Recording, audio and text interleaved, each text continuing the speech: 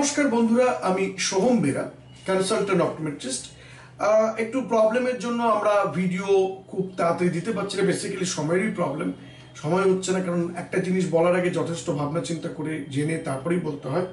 তো আজকে আমি যে বিষয়টা নিয়ে বলব, সেটা ডাইরেক্টলি চোখের সাথে যুক্ত নয়, কিন্তু চোখের একটা প্রবলেম এখানে হয়ে থাকে। এবং এটার কারণ করার কারণটা হচ্ছে যে, দেখুন, এটা এমন একটা ডিজিজ না জানি কেন যে এটা প্রথমেই ধরা পড়ে না। বেসিক্যালি আমার লাইফে আমার খুব ক্লোজ রিলেশনের মধ্যে দুজনের বাচ্চার এই প্রবলেমটা হয়েছিল। এই কাওয়াসাকি ডিজিজ ডিজিজটার নাম কাওয়াসাকি ডিজিজ এটা কাওয়াসাকি বাইকের সাথে গুলিয়ে ফেললে হবে না। তবে হ্যাঁ কাওয়াসাকি নামটা কারণ যে এটা জাপানে ইনভেন্ট হয়েছিল এবং ইনভেনশন এবং ডেসক্রিপশন দুটোই জাপান থেকে পাওয়া গিয়েছিল, যে কারণে এটার নাম কাওয়াসাকি তো যেটা বলছিলাম যে আমার দুজন রিলেটিভের বাচ্চা রয়েছিল তার মধ্যে একজন খুব বড় একটা রিনাউন হসপিটালে ভর্তি করেছিল কলকাতায়। বলাটা ঠিক নাকি জানি না, ভুল হয়তো, আমি ক্ষমা চেয়ে নিচ্ছি। যে সেখানে ভর্তি থাকার পরেও সেখানকার যারা কনসালটেন্ট ছিলেন, তারা প্রথম তিন চার দিন বুঝতেই পারেননি যে বাচ্চাটার কি হয়েছে। ম্যালেরিয়া, ডেঙ্গু, সমস্ত কিছু করা হয়েছে। চার পাঁচ দিন পরে তারা রিয়েলাইজ করেছিল যে বাচ্চাটা কাওয়াসাকি ডিজিজ হয়েছিল। কিন্তু কপাল ভালো যে বাচ্চাটাও নিজেও খুব স্ট্রং ছিল। তো আলটিমেটলি ওখান থেকে আমরা ওকে নিয়ে যাই অন্য কোথাও, চেন্নাইতে। ওখানে ট্রিটমেন্ট হয়। হার্টের একটু প্রবলেম এসেছিল ঠিকই, কিন্তু সুবিধা হচ্ছে এই ডিজিজটার ক্ষেত্রে। যেহেতু এটা বাচ্চাদেরই হয়, তো বাচ্চারা যেহেতু গ্রোথ স্টেজে থাকে, তো কোনো একটা ইঞ্জুরি বা কিছু সেটাকে কিন্তু ওরা খুব সহজেই কাটিয়ে ফেলতে পারে। তো আলটিমেটলি দুজনেই খুব ভালো রিকভারি করে গেছে এবং দুজনেই অলমোস্ট সেফ লাইফ করছে। আর সেকেন্ড যা হয়েছিল, তার ডেফিনেটলি এখানে ধরা পড়ে গেছিল, এটা একটা গুড নিউজ এবং এখানে ট্রিটমেন্ট হয়ে সে এখন ভালো আছে। তো আজকে আমার এটা করার বিষয় কারণ কি? যে কিছু সিমটমস যেটা খুব খুব মানে যে কেউ বুঝতে পারে, আমি এটা খুব সিম্পলিফাই করে বলতে চাইছি, কারণ যাদেরই ঘরে বাচ্চা আছে এবং জেনারেলি এটা পাঁচ বছর বা পাঁচ বছরের নিচে এটা হয় এবং বাচ্চা বলতে ছেলে বাচ্চা, ছোট বাচ্চা ছেলেদেরই এই প্রবলেমটা বেশি হয়। তো যাদেরই আছে, তারা প্লিজ এটা দেখুন বা যদি আপনার কোনো রিলেটিভ থাকে তাহলে তাকে দেখান। কারণ কি কিছু সাইড সিমটমস আপনি নিজে দেখলেও হয়তো একটা আইডিয়া করতে পারবেন আপনার আইডিয়াতে হয়তো কিছু করা যাবে না, কিন্তু তবুও আপনি একটা আইডিয়া করতে পারবেন যে না, আমার বাচ্চার এটা হচ্ছে, যেটা বলা হচ্ছে সেটা হয়তো ঠিক নয়, তাহলে আমি একটা সেকেন্ড ওপিনিয়ন বা থার্ড ওপিনিয়ন নেব এই বিষয়ের কারণ হচ্ছে যে কাওয়াসাকি ডিজিজটা এক্স্যাক্টলি কি এবং আমাদের এটা কীভাবে হার্ম করতে পারে। বেসিক্যালি এটা এমন একটা ডিজিজ যেটা আমাদের ভাস্কুলাইটিস বা ব্লাড ভেসেলসকেই বেশি ক্ষতি করে। ব্লাড ভেসেলসে ইনফ্লামেশন বলতে পারেন এবং এটা জেনারেলি করোনারি আর্টারি মানে যে ব্লাড ভেসেলসটা আমাদের হার্টের নিজ মাসেলসকে অক্সিজেন সাপ্লাই করে, এইখানেই এটা হতে পারে। শুধু এখানেই হতে পারে তাই নয়, এর সাথে লার্জ এবং মিডিয়াম সাইজ ব্লাড ভেসেলসও এটা হতে পারে। এটা একটা অটো ইমিউন ডিসঅর্ডার আমরা আগেই বলেছি, তার মানে শরীর নিজেকেই ভাবে যে ও একটা হার্মফুল তো ক্ষতিকর। তো এখানে এক্স্যাক্টলি কি হয়, সেটা আমি বলতে চাইছি।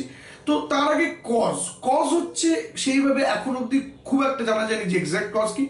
এটা এক্সপেক্ট করা যায় একটা ইনফেকশন রিলেটেড হতে পারে কিংবা একটা কোনো অটো ইমিউন রিয়াকশন কিংবা কখনো কখনো জেনেটিক্সকেও গুরুত্ব দেওয়া হয়।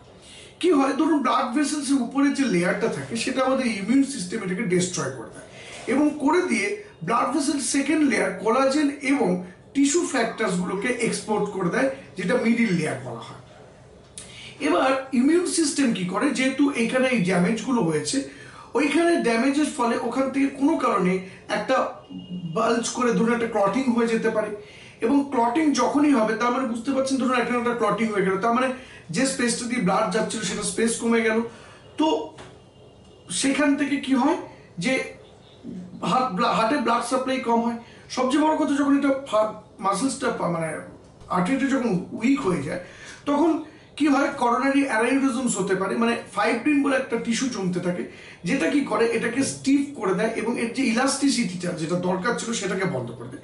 এবং হঠাৎ করে এই ফাইব্রিনের জন্য ব্লাড প্রেশার ওখানে বেশি থাকার জন্য একটা বাল্জ হয়ে যেতে পারে, যেটা আমরা অ্যানিউরিজম বলি এই অ্যানিউরিজমস কি হয়? যদি এইট মিলিমিটার বা তার থেকে বড় সাইজের হয় জেনারেলি ব্লাড প্রেশার ফ্লোয়ের ফলে অনেক সময় এখান থেকে হিমারেজ হয়ে যেতে পারে।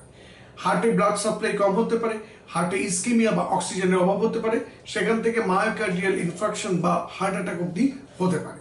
তো এইগুলো হচ্ছে পসিবিলিটিস যে কি হয় এক্স্যাক্টলি কোথায় এই জিনিসটা ক্ষতি করে। এবং শুধু তাই নয়, এর মধ্যে যদি ফাইব্রিন জমতেই থাকে, তাহলে কি হয়? আমরা একটা বলি টিউনিক ওয়াল যেটা থাকে, সেটা কি হয়? আস্তে আস্তে ওয়ালটা যদি ধরো এখানে ফাইব্রাস জমছে, তো ওয়ালের চারদিকে ফাইব্রাস জমে, তাহলে এটা আরও ছোট হতে থাকে। তো জেনারেলি কি হয়? তখন ব্লাড প্রেশার বাড়ে এবং এখান থেকে প্রবলেম হতে পারে। তো এবার আমরা আসব যে কাদের ম্যাক্সিমাম হয়? মোস্ট কমনলি এটা বাচ্চাদের হয় যাদের কম পাঁচ বছর বয়সে এবং মেনলি ছেলেদেরই হয়। এটা একটা সেলফ লিমিটেড ডিজিজও বলতে পারে। জেনারেলি এটা ছ থেকে আট সপ্তাহের মধ্যে শেষ, ঠিক হয়ে যায়। ম্যাক্সিমাম ক্ষেত্রে with or without treatment with ট্রিটমেন্টে কি হবে যে আপনার হার্টের কমপ্লিকেশনসের চান্সেস কম থাকবে। উইথাউট ট্রিটমেন্টে কিন্তু হার্টের কমপ্লিকেশনসের চান্স বেশি থাকবে। এবং কার্ডিয়াক সিমটমস হতে পারে কার্ডিয়াক প্রবলেম হতে পারে। এবার আমরা আসব ক্লাসিক সিমটমস কাওয়াসাকি ডিজিজের প্রথম সিমটমস হচ্ছে সি কনজাংটিভাইটিস কনজাংটিভা লাল লাল হয়ে যাবে। শুধু লিম্বাল এরিয়াটা মানে যেখান থেকে কনজাংটিভা রেড কর্নিয়া শুরু হয়, ওই জায়গাটা একটু সাদা থাকবে। র্যাশ হবে পুরো বডিতেই হ্যাঁ? বিভিন্ন জায়গায়। অ্যাডিনোপ্যাথি মানে আমাদের যে লিম্ফ নোটসগুলো আছে, সেই লিম্ফ নোটসগুলো সোয়েলিং বা ফুলে যাবে।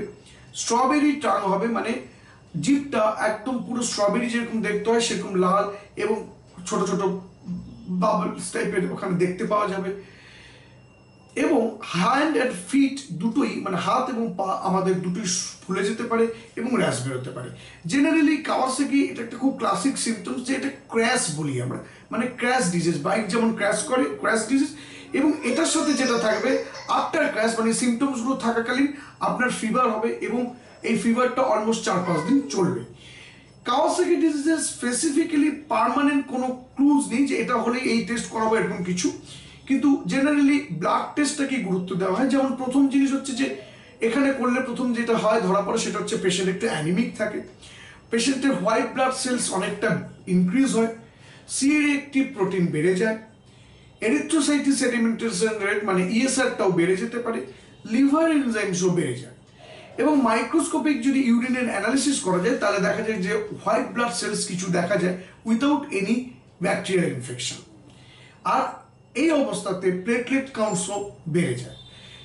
এর থেকেও বড় যে ডায়াগনোস্টিক পার্টে চলে আসে ট্রিটমেন্ট সেটা হচ্ছে ইকোকার্ডিওগ্রাম করা হয়, কারণ কি দেখা হয় যে করোনারি আর্টারিস এবং হার্ট মাসেলসের এক্স্যাক্টলি কতটা ক্ষতি হয়েছে। এবার আমরা আসব ডায়াগনোসিস পার্টে দেখুন, প্রথমেই আমরা বললাম যে crash symptoms conjunctivitis rash adenopathy strawberry type এবং হ্যান্ড অ্যান্ড ফিট সোয়েলিং তার সাথে ফিভার জেনারেল মোরলেস পাঁচ দিন চলবে।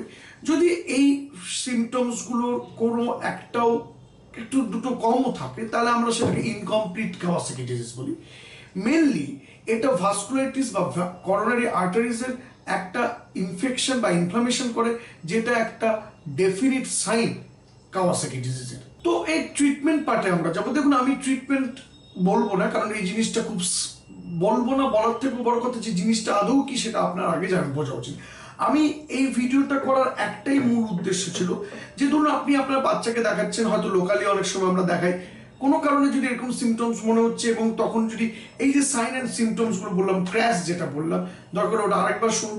এরকম যদি কিছু হয়, তাহলে আপনি যাতে একটা সেকেন্ড বা থার্ড ওপিনিয়ন নিতে পারেন যে এরকম কিছু কিনা। কারণ আমি যেটা প্রথমেই বলেছিলাম যে দুজনের ক্ষেত্রে কিন্তু এটা একটু ডিলে হয়ে গেছিল, কারণ কি ধরা পড়েনি।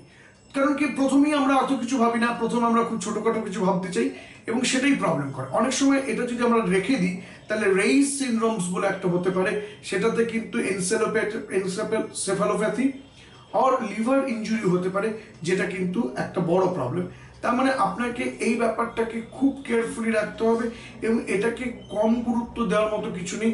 ডেফিনেটলি আপনাকে এটাকে গুরুত্ব দিয়ে দেখতে হবে।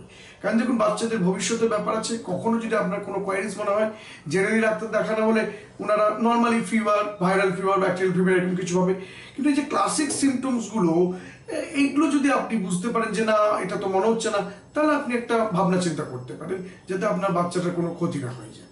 তো বন্ধুরা, আজকের মতো এটুকুই। আপনারা সকলে ভালো থাকুন, সুস্থ থাকুন, ভালো রাখুন। যদি আপনাদের আমাদের ভিডিও ভালো লাগে থাকে প্লিজ লাইক শেয়ার এবং সাবস্ক্রাইব করুন। নমস্কার।